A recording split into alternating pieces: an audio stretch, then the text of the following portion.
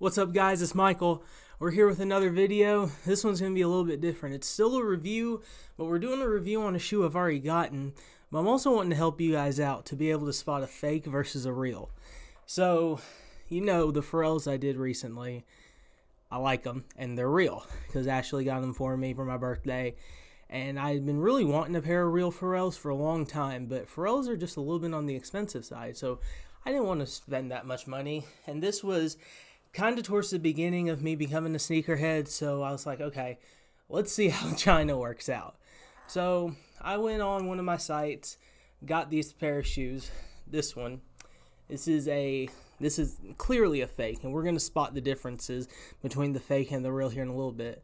But I had ordered these because I wanted a pair of Pharrells, and so when I got on the site, they looked real on the picture, but then when I got them and felt them, they just feel they feel cheaply made. And i mean they were just $45 so i can understand that. But let's get into the differences of the box first and then we'll dive in to see the differences between this and this. All right guys.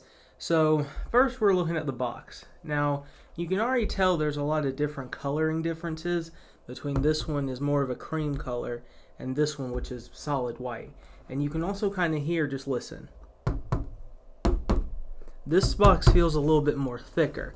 And if you zoom in, because this is the real box, if you really look, you'll see how that, the Pharrell Williams right here, and then the Adidas, it doesn't look like it's screen printed. Along with, you've got US 10, France 44, UK 9.5, originals, it's got all these barcodes and everything on it. But then when you move over and look at this one, it's got US 10, France, China, Japan, all of this says running. They tried. They really tried to make it look like it's a good fake. But the thing that got me was if you can kind of look and see, you can tell that the Adidas part right here it feels like it's screen printed on. And there's also a difference in size of the box. This one is much, much smaller than this box. This one says 2018, this says 2016. Now, granted, this might have been how they did the box in 2016. I'm not 100% sure. I just know that my human race NMDs did not come in a box like this at all. Now let's check out the inside. The inside of this box comes with the Adidas printed paper, and you can see the StockX everything because I got it from StockX. But then, if you check out the inside of this box, they came in a bag, an Adidas bag, and that's it. And this box is just feels like it's very poorly made. It just feels cheap and flimsy. I mean, it came damaged, but this box did too. However, this one just doesn't feel the same. But when you look, you'll see this box has like folded over edges right here. This box does not. It just feels very cheaply made. Hi, Halo. That's our work cat. So let's dive in and let's see how the shoe looks.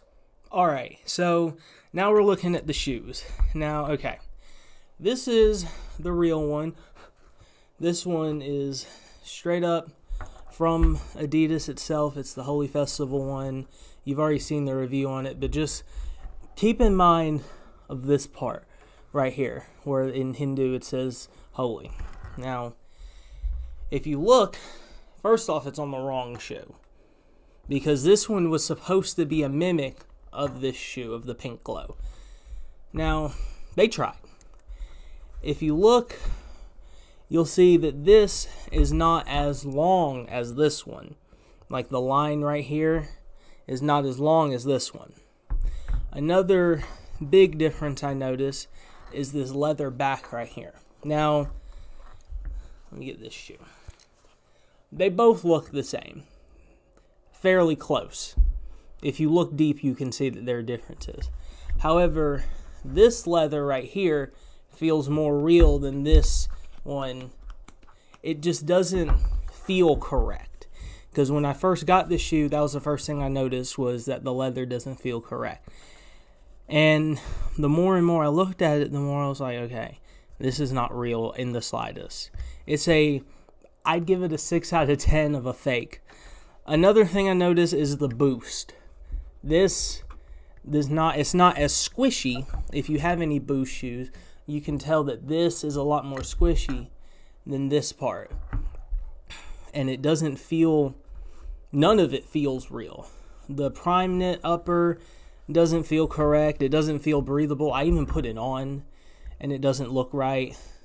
The one thing that was semi that I felt was semi real was this bottom part. So if you look, it has the Adidas printed right here, just ingrained in the gum part of the bottom. Because it has the exact same, it's a little dirty, but it has the exact same on this shoe as well. So I kept looking, I kept looking. I'd Google how to tell real from fake. And then I looked on the inside of the shoe. Because on the other video, you saw that it had the toe, to- the toe part.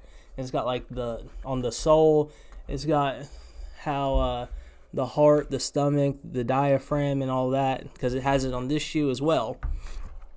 But I went and checked on my Yeezys because on Adidas shoes, I'm not sure about Nike shoes, but on Adidas shoes, they put on the tag where it has the size on the inside of the shoe, they put a QR code on there so you can scan it and I guess to check and see.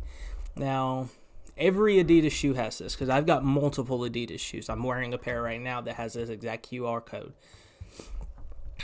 The QR code, if you can see it, is you can see it's the main bold part is kind of in the shape of an L. It's not all the way around. Now, if you see regular QR codes, you'll see it's all blocked around, all bold around, but on this one, it's not. And if you look on a pair of Adidas that you've got at the house, you can see that it's like that. However, this QR code does not look like that at all, if you can see it. And that is the big part to see always check any Adidas shoe if you think that it's inexpensive or something, check the QR code because if it does not look like this, then it's fake. Now, this is a fairly decent fake, like I said, it's like 6 out of 10, what I'd give it. If you're want, wanting to spend a lot of money and you don't live in an area that has a lot of sneakerheads, you could get these and you could probably pass them off. The other the other shoe of this one just says Hue, like you know, on those one those NMDs that I have say Hue on it, but it doesn't say it like this, and it should say species. But it's a decent-ish fake. It's got mainly all the fixins. It's got the same little marble where you can put your laces and all that but I wouldn't recommend it. If you're really big into sneakers, I would just recommend going ahead and getting this pair, the real pair. The fakes, I've been sitting on for a long time, and I might just take them to Goodwill or something. Because, I mean, they are shoes, they're just not real Pharrells. But anyway, thanks for watching. Uh, stay safe out there. This virus it's really getting everybody so just stay safe wash your hands check out more of my videos. I'll be posting more and more. I've got a lot of videos lined up for you guys. So thanks for watching. Be sure to like and subscribe. Check out my twitter. Check out my instagram. And hit the bell for more videos. Thanks guys. Bye